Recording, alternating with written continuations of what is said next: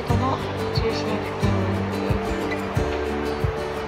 もう少しした。らこちらにチーズケーキ屋さんがオープンします。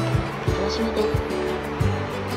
今年の10月13日から10月15日奄美大島なんで運動公園にて鹿児島国体相撲協